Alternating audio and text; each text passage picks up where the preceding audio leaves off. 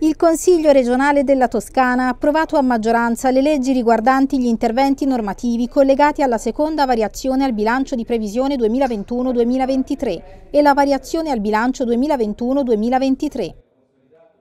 Una manovra che è stata adottata all'insegna della prudenza ma nella volontà di dare sostegno ad alcuni settori strategici eh, della nostra regione. Innanzitutto una misura che si caratterizza per una contrazione molto forte dell'autorizzazione all'indebitamento, questo perché ci sono una serie di finanziamenti previsti per il 2021 che sono stati dislocati nelle annualità successive. C'è da dire però che una grossa fetta di questa misura in realtà è caratterizzata da rimodulazioni, ci sono molti interventi che avrebbero dovuto essere realizzati nel 2021 e che vengono spostati con i relativi finanziamenti nelle annualità 2022-2023,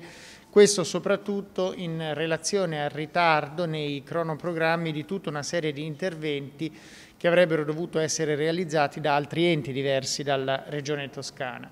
Ci sono però delle misure effettivamente innovative da un punto di vista finanziario e in particolar modo ricordiamo 53 milioni di euro che vengono destinati alle aziende sanitarie e sono finalizzati al rilancio delle politiche di investimento delle aziende sanitarie e quasi 9 milioni di euro che vengono destinati al settore dello spettacolo, un settore che dalla pandemia è stato pesantemente eh, alterato e che ha bisogno di un sostegno effettivo da parte delle istituzioni pubbliche. C'è anche una cifra consistente, 3 milioni e mezzo di euro nell'annualità 2022-2023 che andrà a sostegno degli enti locali per la manutenzione e la ristrutturazione degli immobili confiscati alla criminalità organizzata. Un ultimo aspetto che mi preme evidenziare di questa manovra finanziaria è il fatto che c'è un consistente accantonamento al fondo di riserva di risorse che sono destinate ad evitare le possibili perdite del bilancio del sistema sanitario regionale. Questo perché sappiamo tutti che le stime che si danno al 31 dicembre di quest'anno con riferimento al fondo sanitario sono stime che possono far registrare una perdita e quindi prudenzialmente la Regione Toscana in attesa di opportune determinazioni da parte del Governo ha deciso di accantonare una cifra consistente proprio per evitare che si registri una perdita nel bilancio del sistema sanitario regionale. La Lega vota convintamente contro questa variazione di bilancio da un lato perché riguarda tutta una serie di rimodulazioni eh, per il 2022 di eh, mancata realizzazione di opere infrastrutturali e la nostra Toscana paga un gap infrastrutturale notevole. Occorre aprire una riflessione congiunta con eh, ecco, maggioranza e opposizione sul tema delle infrastrutture perché i soldi ci sono, a volte manca ecco, eh, i tempi di realizzazione, eh, la chiarezza appunto sulla programmazione. Questo ci sta decisamente eh, colpendo come Regione Toscana dal punto di vista competitivo. Dall'altro perché non ci convince tutta una serie di operazioni che sono state fatte recentemente dalla Regione Toscana, eh, questa discussione inevitabilmente si è collegata eh, con quella eh, sul buco di bilancio eh, della sanità e per dire una delle disposizioni si è cercato di eh, caricare sul bilancio del Consiglio, diciamo della Giunta regionale il debito di, in termini di ammortamento di 53 milioni del sistema sanitario, quindi uno sgravio. Ma la situazione non è assolutamente chiara. Noi chiediamo che eh, Gianni sia presente, invece è continuamente assente, ecco, sia in commissione e anche oggi in aula, io fino adesso non l'ho sinceramente visto. Quindi eh, è necessario eh, che ci sia più chiarezza, più coraggio perché il momento è veramente difficile. Noi faremo di tutto per cercare di evitare aumento di tasse e peggioramento di servizi sociosanitari, però vogliamo un confronto continuo con il governatore che allo stato attuale manca. È una variazione di bilancio molto particolare, perché è una variazione di bilancio che sposta 76 milioni e mezzo di investimenti previsti nel 2021 al 2022 per recuperarne circa 36 che vengono destinati alla sanità, altri che vengono destinati alla cultura, altri al sociale, ma il fatto grave, a mio modo di vedere molto grave, è che nei 76 milioni e mezzo che vengono sottratti nel 2021 agli investimenti previsti in Toscana vi sono investimenti sulle infrastrutture, una su tutte la FIPD, sul trasporto ferroviario regionale, vengono sottratti soldi, destinati 25 milioni di euro destinati al trasporto ferroviario regionale. I treni regionali toscani vi viaggiano e si muovono in condizioni di precarietà assoluta tutti i giorni. Ci sono stazioni, basta andare la mattina a fare un, un giro delle stazioni toscane per vedere pendolari che attendono il passaggio del treno anche 40 minuti, treni che viaggiano in condizioni di sovraffollamento folle, autobus extraurbani che viaggiano ben al di sopra dell'80% della capienza prevista dalla normativa attuale. E è un settore questo che si può permettere di vedersi sottrarre 25 milioni di euro. Le infrastrutture, la Firenze-Pisa-Livorno, è una struttura forse si può permettere di vedersi sottrarre dei soldi nel 2021 per essere destinati nei triennio a venire? E poi l'ultimo, permettetemi un altro passaggio, eh, il mantra mondiale della sinistra, soprattutto della sinistra toscana, che ogni giorno ci ripete il mantra della transazione ecologica, le immagini di Greta Thunberg, osannata come l'eroina dell'ambientalismo del, del, terzo millennio, la regione toscana oggi taglia 8 milioni di euro, 8 milioni di euro alla transazione ecologica e al, eh, all'efficientamento energetico. 8 milioni di euro che erano previsti per l'efficientamento energetico del 2021 rimandati al prossimo triennio. Quindi o il mantra serve solo in conferenza stampa o evidentemente c'è qualcosa, c'è un cortocircuito che non torna. La variazione di bilancio cade in un momento molto complesso dal punto di vista finanziario per la Regione Toscana, Toscana per il grave buco di bilancio legato alla sanità che abbiamo. Ma di fatto non ci si aspettava che questa variazione potesse risolvere problemi così grandi, ma neanche che, come abbiamo visto troppe volte, si riducesse semplicemente a piccoli favori, potrebbero essere letti così, sul territorio eh, legati a interessi del singolo consigliere eh, piuttosto che dell'amicizia con qualche sindaco, invece che qualcosa di più ampio. Di fatto vengono sostenute alcune, eh, alcune, istanze sicuramente condivisibili, ma niente di più, ci si riduce soltanto a piccoli interventi che mancano di una visione di più ampio respiro, a una programmazione che di fatto è quello che avviene ogni volta che ci sono delle variazioni al bilancio. La cosa che più ci preoccupa è che ci sono una serie numerosa di rimodulazioni delle spese che ci fanno capire che c'è un problema di capacità di spesa, di programmazione e di realizzazione di cronoprogrammi in molti progetti e questo è un problema che interessa gli enti locali e che probabilmente ci dovrebbe interessare in un'ottica di coordinamento tra tutti gli enti locali e il governo, ma soprattutto della capacità della Regione di riuscire a fare una cabina di regia su questo. Il nostro è stato un voto positivo, una variazione di bilancio che ha confermato quello che stiamo dicendo negli ultimi mesi, no all'aumento delle tasse, serviva fare un'allocazione corretta delle risorse che attualmente sono a disposizione della Regione, quindi aver liberato oltre 70 milioni di euro consente di mettere in sicurezza i fondi della sanità, continuare a dare er servizi, erogare e dare risposte rispetto alla battaglia del Covid, non gravare sui cittadini. Era una battaglia politica che noi abbiamo portato avanti, abbiamo vinto questa sfida che serviva per non aumentare nuove tasse, ma soprattutto per trovare una risposta corretta alle esigenze del sistema sanitario e anche una collocazione corretta, essendo ormai a novembre, delle risorse a nostra disposizione. Quindi siamo stati convinti che questa sia stata una battaglia giusta. Nel frattempo abbiamo fatto prendere un impegno al Consiglio regionale rispetto agli stanziamenti sulle scuole, rispetto a degli interventi necessari, urgenti, a causa dell'incremento dei prezzi che molte realtà hanno quando vanno a realizzare nuovi interventi edilizi. Abbiamo presentato un emendamento in merito, abbiamo accettato di ricondividerlo da qui la sessione di bilancio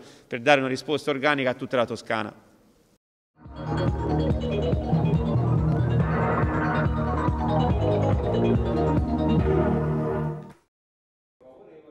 Nella settimana in cui ricorre la giornata mondiale contro la violenza sulle donne, che si celebra il 25 novembre, il Consiglio regionale ha promosso tante iniziative come simboli. Al centro dell'aula consiliare sono state messe una sedia vuota e un paio di scarpette rosse. Nell'auditorium di Palazzo del Pegaso è stato presentato il libro di Laria Bonuccelli, Per ammazzarti meglio, che racchiude 12 storie al femminile che fanno emergere la negligenza delle istituzioni e la loro incapacità nel proteggere le donne vittime di violenza e come l'azione dello Stato si dimostri spesso inefficace a garantire loro sicurezza e giustizia.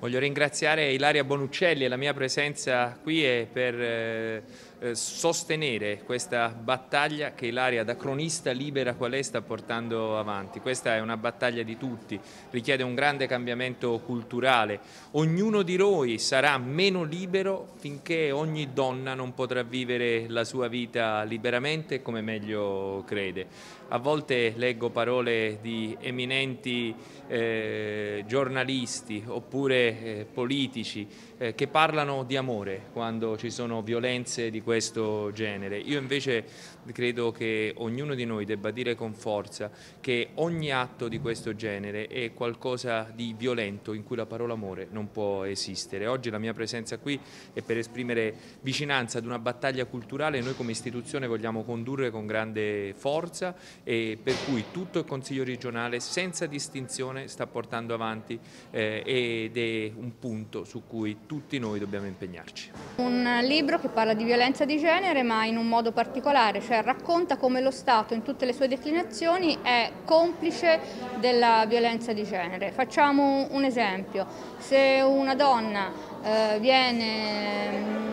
maltrattata per eh, anni dal suo compagno, un'ordinanza di allontanamento non può essere un allontanamento a 3 metri, cioè un divieto di avvicinamento a 3 metri. Oppure se una donna viene eh, strozzata dal marito e si salva per caso, il giudice non può decidere che eh, il divieto di avvicinamento alla casa familiare è tutti i giorni, ad eccezione del lunedì eh, dalle 9 a mezzogiorno perché come i barbieri gli assassini il lunedì non lavorano. Questo libro è l'inizio di un percorso che la Commissione Pari Opportunità vuole fare proprio di formazione di tutte le figure che fanno parte della giustizia, quindi ehm, carabinieri, forze dell'ordine, magistrati, proprio per formarle verso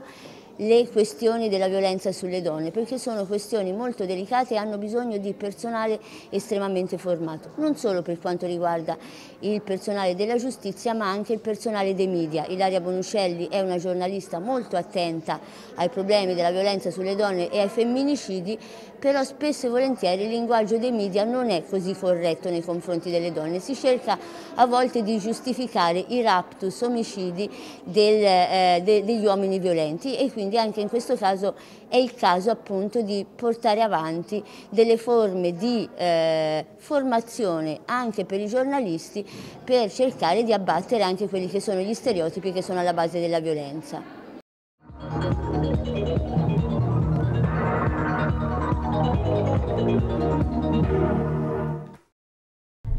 La Commissione regionale toscana per le pari opportunità, presieduta da Francesca Basanieri, ha presentato la campagna di comunicazione per il contrasto alla violenza di genere, sostenuta dai soggetti della grande distribuzione. L'obiettivo principale è diffondere in modo capillare la conoscenza del 1522, il numero unico per denunciare le violenze contro le donne. Nell'occasione sono state indossate spille con un fiore rosso, donate dalla Commissione ai consiglieri e agli assessori. Rilanciamo la campagna per la conoscenza del numero antiviolenza e antistalking nazionale 1522, un numero fondamentale per eh, conoscere la rete antiviolenza attiva sul proprio territorio di riferimento, ma non solo appunto perché la violenza contro le donne si combatte soprattutto dal punto di vista culturale e quindi anche promuovere una cultura del rispetto, della parità, eh, contrastare gli odiosi e intollerabili stereotipi di genere che ancora oggi purtroppo permangono all'interno delle nostre società diventa fondamentale. Quindi voglio davvero ringraziare tutti i soggetti della grande distribuzione che hanno aderito alla Commissione regionale Pari Opportunità per questa iniziativa perché è importante lottare tutte e tutti insieme contro un fenomeno che purtroppo è ancora ben radicato nella nostra società, non è un fenomeno emergente emergenziale ma è un fenomeno purtroppo strutturato e quindi ancora più difficile da radicare. I numeri li abbiamo presentati ieri grazie al lavoro preziosissimo portato avanti dall'Osservatorio Sociale Regionale ci dicono che su questo fenomeno occorre ancora oggi tenere alta l'attenzione perché non è possibile che ci siano ancora oggi vite di donne interrotte ma anche di figli e di figli che sono altre, loro stessi vittime di violenza o che assistono appunto a episodi di violenza e quindi l'impegno da parte di tutte e di tutti, anche degli uomini, perché il tema della violenza di genere, così come le disuguaglianze di genere, non è un problema delle donne ma è un problema della società e quindi dobbiamo davvero affrontarlo tutte e tutti insieme. Non è soltanto una campagna per promuovere il 1522, ma è una serie di iniziative fatte assieme alla grande distribuzione e l'elemento importante è che tutta la grande distribuzione presente in Toscana si è attivata per, contro la violenza eh, contro le donne. Questo è un elemento importante perché? perché la capillarità con cui può arrivare un messaggio eh, mandato all'interno dei negozi della grande distribuzione è un elemento che serve a tutte le donne che sono vittime di violenza. Quindi l'obiettivo è sicuramente quello di amplificare il numero 1522, il numero appunto che tutte le donne che sono vittime di violenza o di stalking possono, eh, a cui possono accedere per chiedere aiuto, ma anche lavorare affinché queste cose non accadano. E quindi costruire all'interno delle strutture, dei negozi, della grande distribuzione, formare del personale affinché sia una sorta di sentinella antiviolenza, cioè riesca a comprendere le persone, spesso persone e donne fragili, che sono in quel momento vittime di violenza e le donne possono trovare nelle persone che magari conoscono perché quotidianamente vanno a fare la spesa, a comprare il pane, un appiglio per poter chiedere aiuto. Quindi la possibilità di lavorare assieme alla grande distribuzione fa sì che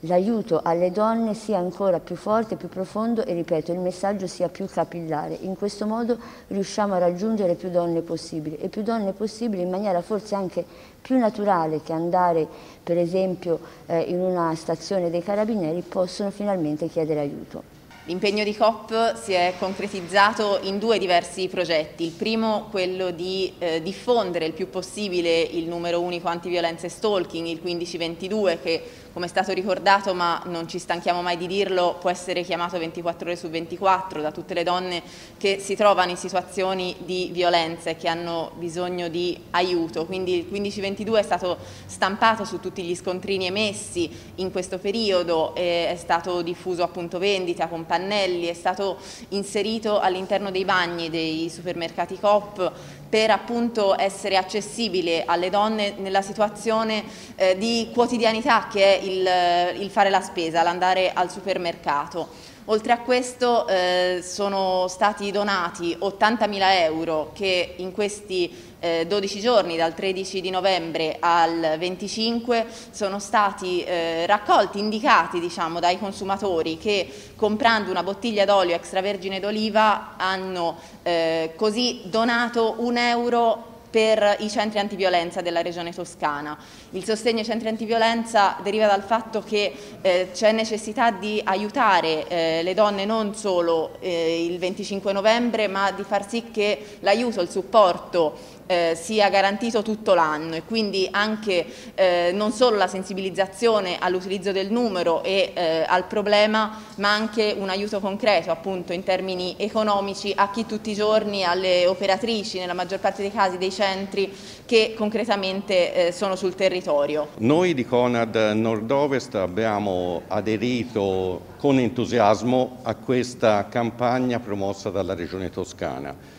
e lo abbiamo fatto anche perché eh, oltre alle, alle, azioni che ci sono state richieste, in realtà noi eravamo già eh, molto attenti al tema della violenza contro le donne e quindi autonomamente avevamo già iniziato una campagna di sensibilizzazione sia eh, attraverso la, la stampa del numero antiviolenza su tutti gli scontrini ai supermercati,